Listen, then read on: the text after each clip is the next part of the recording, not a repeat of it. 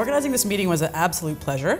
Um, Journal of Cell Science staff is outstanding and uh, they had everything organized. They were very clear on, on their mission and the mandate of this meeting. There was a set of um, speakers um, who were um, chosen um, for their expertise and for their um, common interest in cytoskeleton organelles. We made a point was to reduce the time of the talk so more people will have more time to talk or more people could talk, but most important to have more free time to interact and ask questions. That I've really enjoyed the most is seeing lots of unpublished data, not only just in my own area that's obviously interesting to me for my own research, but in lots of other diverse systems. What have you enjoyed most about the meeting? So I think I enjoyed most the great insights which we got from the scientists, the um, very kind interaction between scientists. What will you take away with you?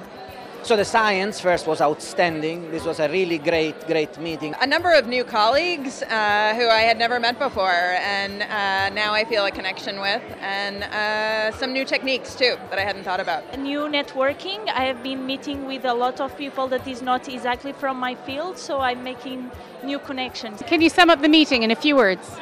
Yeah, uh, organelle cytoskeletal interactions. They're the thing right now. Yeah, this meeting's been, I mean, uh, beautiful is one of them. Uh, the city is beautiful, the venue is beautiful, uh, dynamic. I would definitely say that it's a fun and intellectually inspiring meeting, and I would definitely recommend it to PhD, PhDs and postdocs.